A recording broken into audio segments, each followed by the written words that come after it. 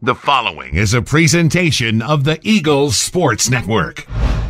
Andrew Rogers here on the Eagles Sports Network following another Carson Newman men's soccer win. This one over Newberry by a final score of 3 to 0 here with head coach Stephen Lyons. Coach, uh, again, anytime you get a home win, three points, you got to be pleased with that, on especially on senior day. Overall thoughts on this victory? One goal in the first half, two late uh, there in a 40 second span in the second half.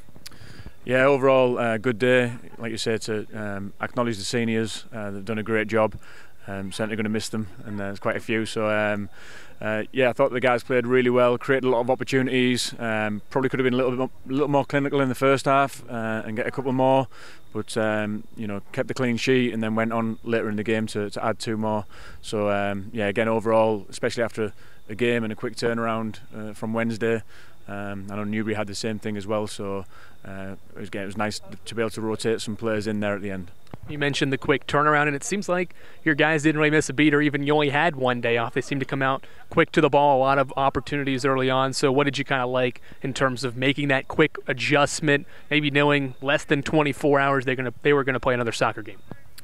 Yeah, just uh, show good mentality, um, and you know, uh, come post-season, hopefully in conference tournament, you're going to see that kind of turnaround as well. So uh, again, having that depth to be able to rotate a little bit, yep. uh, rest some players, um, and then the quality not drop uh, is going to be big. And again, I thought the guys that came on tonight uh, injected good energy and uh, again created some good chances, and that's definitely positive going forward.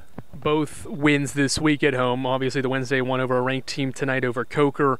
Uh, it's been three goal efforts, but also uh, three different players have scored. I know Kruick's assisted on a couple of those goals, but what does that continue to say about this offense? That so many players are balanced, and you can always get quality efforts depending on who crosses in or who's there in the box to finish it away.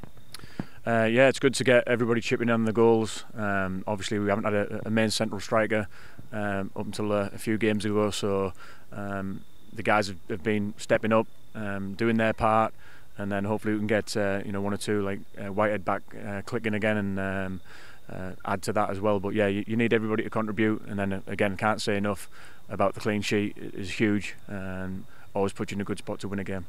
Best of luck the rest of the way. We'll talk to you next week. Thank you. He's Stephen Lyons. I'm Andrew Rogers for the Eagle Sports Network.